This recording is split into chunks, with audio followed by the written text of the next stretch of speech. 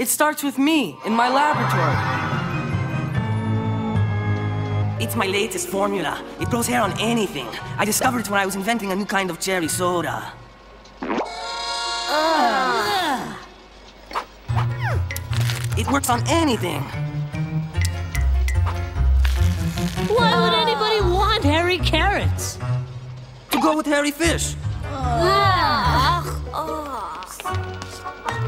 Like most scientific discoveries, this one is not appreciated. Hey, Brain! Sorry I'm late. Is this your new invention?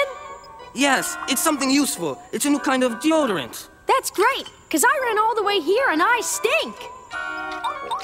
No, stop! Brain, I hate to tell you this, but this new perfume of yours smells awful.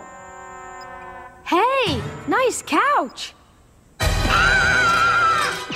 But Arthur's so embarrassed about the way he looks that he runs off to the woods to hide.